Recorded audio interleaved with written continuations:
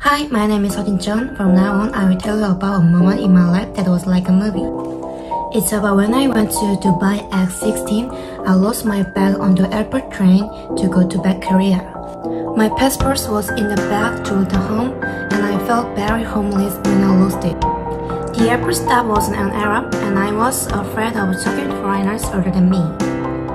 But I plucked up the courage to ask for a solution in English, and luckily I was able to find the bag thanks to the fact the bag would be on the next train.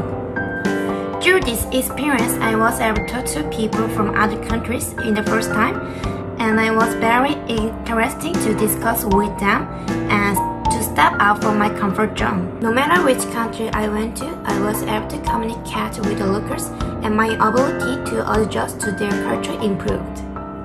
I'd say this is cinematic moment that had a profound impact on my life.